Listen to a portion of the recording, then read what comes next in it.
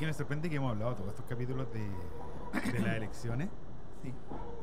y el Frente Amplio ni por las masas. No sabemos si llegan candidatos a concejales, no sabemos dónde van a competir en la municipal, excepto porque Pero- hubo una primaria en Antofagasta. Sí, está muy golpeado igual. Están muy golpeados, eh, están aparte en proceso de fusión. Sí, Eh, no sabemos si van a llegar candidatos a gobernador regional. sí.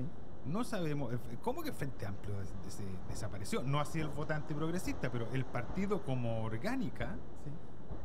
eh, desapareció abruptamente. Y si me permite la comparación en cuanto a la orgánica, es un poco lo que le pasó al PDG. Eso es lo que quería decirte. Toma el contrapendiente en la centro derecha de lo que ¿Eh? pasó con Frente Amplio. El PDG, el PDG, pero el PDG no lo inventó el voto obligatorio. No. El PDG lo inventó la figura de Parisi y Sí. lo inventó y, y existió a través del voto voluntario. Pero en el voto obligatorio en la elección del Consejo Constitucional de mayo de 2023, ahí sacó simplemente el 10% de la votación. Mm. Un partido que aspiraba mucho más, que tenía un presidencial.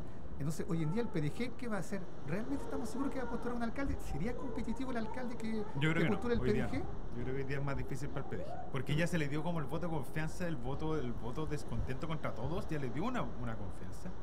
Y el escenario eh, hecho, Catastrófico. fue catastrófico. en el Parlamento. En el Parlamento, fue catastrófico a nivel de core, a nivel local, fue catastrófico respecto Ah, De hecho, no hay ningún core que, quede, que siga el ¿Ah? PDG. Están Hay- todos demandados.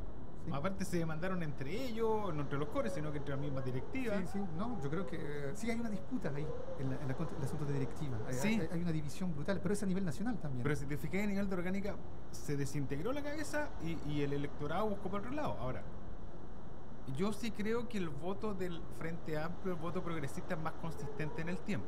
sí, una mirada de sociedad que es lo que los une. En el Sí. PDG te unía el descontento contra algo y tú canalizabas ese descontento porque tú estabas fuera de toda esta dinámica de los partidos.